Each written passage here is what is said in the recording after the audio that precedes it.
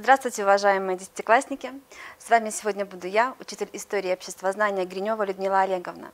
И мы проведем очередной урок обществознания. Поехали! Тема, о которой мы с вами будем говорить, она необычайно интересна, важна и актуальна. Давайте поразмышляем а, над тем, о чем мы с вами сегодня будем говорить. Итак, перед вами на слайде, я думаю, что вы все, конечно же, узнали Стив Джобс, легендарный создатель компании Apple. И следующий а, э, сюжет. Сюжет из Библии. Мы видим с вами первых людей, Адама и Еву, мы видим их грехопадение. И у меня возникает вопрос, давайте порассуждаем, что может объединять Стив Джобса и данный библейский сюжет. Если мы будем внимательно рассуждать, то мы от, скажем с вами, что и Стив Джобс, и Адам, и Ева – это все те люди, которые, безусловно, стремились к получению неизведанного, нового знания. И посмотрите, пожалуйста, мы видим с вами и в первом, и во втором случае фрукт, который является символом познания. И не случайно, наверное, Стив Джобс взял именно яблоко в качестве э, лейбла своей компании. Давайте запишем нашу с вами сегодня тему. Тема познания, познавательная деятельность. Пройдемся с вами по понятиям. Познание – это процесс обогащения человека новым знанием. И я вам рекомендую все определения брать строго из ваших учебников. Мы работаем с вами сегодня, в этом году, по учебнику уже ФГОС, а, линии просвещения. Строго определение берем из перечневых учебников, которые я вам а, рекомендую. Результатом познания является знание, запишите, пожалуйста, ваши словари. Это форма существования и систематизации результатов познавательной деятельности человека. Давайте разберем с вами теперь структуру познания. В структуре всегда обязательно есть субъект. Под субъектом мы понимаем человека, либо группу людей, но это всегда существо одушевленное и наделенное обязательно сознанием, то есть это человек.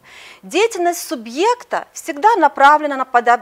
на, объект. Под объектом мы можем понимать э, и э, природу, мы можем понимать материальные и э, одушевленные, неодушевленные предметы. Это может быть группа людей. В результате познания мы получаем с вами знания. Давайте посмотрим, как это у нас с вами работает. Итак, мы прочитали с вами книгу по философии. И мы узнали, что познанием занимается именно наука такая, как философия, обращаю ваше внимание. И в философии есть особый раздел, он называется гносеология. Целый раздел, вдумайтесь, философии, изучающий вопросы познания. О чем это говорит? Это говорит о том, что все не так просто. Есть вопросы спорные и полемистические. Полемика. Познаваем ли мир? И в этой связи существует несколько течений в гносеологии. Первое направление – это оптимист. Мы их назовем с вами оптимисты или гностики. Они говорят, что мир познаваем, истина существует. В качестве аргументов они приводят следующее. Ясность и отчетливость научной мысли. Наука всегда может все доказать, она объективна.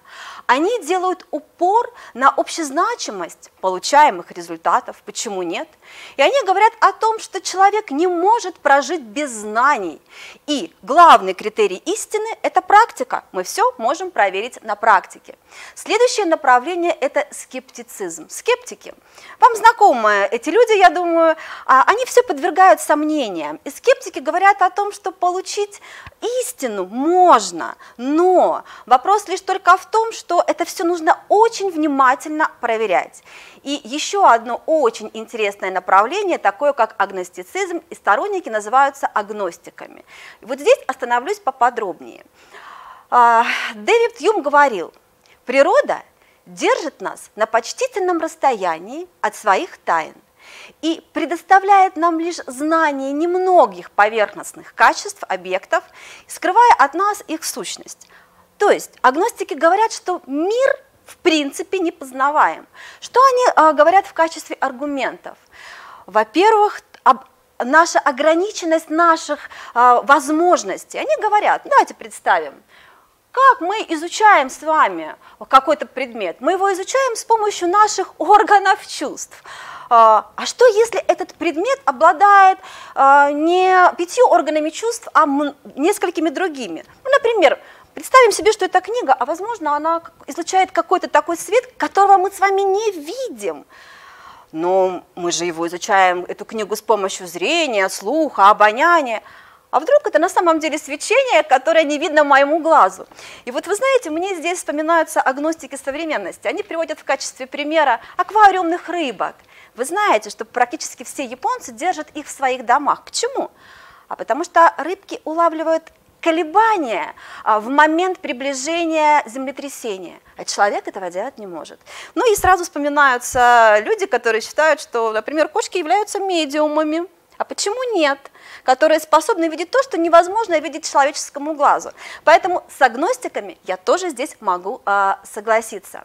Э, в агностицизме существует такое направление, как конвенционализм. Это учение, согласно которому существующие научные теории являются лишь соглашениями между учеными. Эти теории не могут достоверно отражать сущность исследуемых нами объектов. Существуют основные формы познания. Я предлагаю всегда своим ученикам вот чертить такую лестницу. Первое, обратите внимание, первый уровень – чувственное познание, которое представлено в форме ощущения, восприятия и представления. И второе – это рациональное – понятие, суждение и умозаключение. Ну, давайте посмотрим, как это сейчас будет работать на практике. Для этого я попрошу, предлагаю провести небольшой эксперимент. Мне необходим человек – негуманно проводить эксперименты, конечно, над людьми. Э, Дарья Юрьевна, но я попрошу вас, можно? Я сейчас а, попрошу вас в один момент закрыть глаза, я буду вам задавать вопросы. Ваша задача не подсматривать и отвечать честно. Договорились? Закройте, пожалуйста, глаза. А, я вам в руки даю предмет. Пожалуйста, опишите мне его. Предмет э, круглого цвета, ой, цвета круглой формы. Угу какая-то продолговатая штучка, есть у него верхушка, угу. гладко. Угу. Все, больше ничего не могу. А какого цвета? Нет, цвет не могу ответить. Не можете ответить. Запах? Можно понюхать? Понюхайте. Ага. Запах сладковатый такой. Предположите, на что вы держите в руках? Думаю, что это духи. Так, откройте, пожалуйста, глаза. Мы проиллюстрировали с вами сейчас ощущение. В данном случае у Дарьи Юрьевны было ощущение, у нее не было абсолютно э, целостной картины. Она не могла нам ответить э, на вопрос, какого же цвета, какого цвета флакон? Желтого цвета. Отлично. Следующий этап – это восприятие, когда мы получили целостное, полное представление об изучаемом предмете. Закройте, пожалуйста, теперь глаза, опишите мне э, флакон, который держали вы в руках. А, флакон желтого цвета, круглой формы, гладкий также, угу. тоже крышка продолговатая тоже форма. Отлично, открываем, пожалуйста, глаза. В данном случае мы увидели с вами представление. Предмет находился на удалении, да? Но вы смогли его описать. Почему? Потому что вы когда-то видели. Продолжим небольшой эксперимент. Опишите, пожалуйста, как выглядит Владимир Ильич Ленин. А, мужчина, понятно, что это так, мужчина. хорошо. А, лысина у него есть, угу. продолговатый нос, тонкие губы. Хорошо. Так, давайте с вами, давайте с вами сравним. Абсолютно верно. А, Дарья Юрьевна, опишите, пожалуйста, как выглядит мой дедушка. Вы не видели моего дедушку? Не видели? Ну, познакомьтесь, пожалуйста, Сухинин Алексей Кузьмич, герой Великой Отечественной войны. Вы сможете теперь его описать? Да, конечно. Круглое лицо, прическа такая, угу. волосы, круглые глаза, толстые губы. Совершенно верно, потому что вы теперь имеете представление. Вот так именно работает представление, когда мы можем описать предмет, и он работает на удалении. Благодарю вас. Я думаю, что мы помогли нашим ученикам. Идем с вами далее. А, Формами рационального познания является понятие. Это мысль, утверждающая общие и существенные свойства предмета. Например, вектор – это направленный луч. Запишите, пожалуйста, ребята. Суждение – мысль, утверждающая или отрицающая что-либо о процессе. Например, все волки – хищники. Это общеутвердительное суждение. Ни один из многогранников не бывает плоским. Общеотрицательное суждение. Некоторые грибы съедобны, частно-утвердительное суждение. И, наконец, умозаключение – это высшая форма рационального познания. Это форма мышления, в которой из двух суждений мы с вами можем сделать вывод. Например, посылка – все люди смертны. Второй посыл – Сократ – человек. Мы делаем вывод – Сократ – смертный. Таким образом, мы проиллюстрировали с вами умозаключение. Методы умозаключения заключаются в следующем, их, их три. Индукция, дедукция и метод по аналогии. Ну давайте разберем. А, во-первых, цель этих методов – вывести новую истину из уже ранее существующих. Индукция, на мой взгляд, это самый простой метод. Ну, например, а, многие источники могут его определить как метод тот, в котором мы получаем с вами какие-то а, выводы в ходе конкретных наблюдений. А вот наиболее интересный, на мой взгляд, метод – это метод дедукции. Обратите внимание, это метод Шерлока Холмса. Давайте посмотрим с вами. У Джона военная выправка, загар на руках, только до рукавов, психоматическая хромота, значит, побывал на войне. Где были военные операции в последнее время? В Афганистане. Значит, Джон у нас с вами из Афганистана. Так работает метод дедукции. Давайте потренируемся. Вы видите женщину около 40 лет, в руке дамская сумочка с незастегивающейся молнией от большого количества тетрадей, одета скромно, без излишеств и вычурных деталей. На руке тонкие часы и белый след от мела. Вы сделаете вывод, что это, скорее всего, это, конечно же, учитель. Молодцы. И у нас есть метод по аналогии. Это процесс, который включает в себя учет общих свойств. Например, P, P и Q аналогичны по свойствам А, Б и С было замечено, что объект P обладает свойством X. Таким образом, Q, вероятно, имеет такое же свойство. А, между сторонниками чувственного и рационального познания идут постоянные споры. Какое познание лучше? Э, и вот сторонники чувственного познания, это эмпирики или сенсуалисты, они признают только чувственное познание. Рационалисты говорят же в противоположную сторону. Нет, однозначно, только рациональное познание. Э, нельзя опираться только на методы чувственного познания. Но давайте посмотрим с вами и попытаемся защитить те или иные позиции. Посмотрим, в чем плюсы у нас с вами, э, например, чувственного познания. Как только рождается ребенок, он пробует мир на зубок. Он чувствует этот мир. А, это непосредственность а, форм, которые мы можем тут и здесь сразу увидеть с вами. Наглядность предмета мы можем пощупать, потрогать. А, он возникает всегда в результате образов познания. А также чувственное познание у нас воспроизводит внешние свойства объектов. Рационалисты чем его плюс этого способа познания?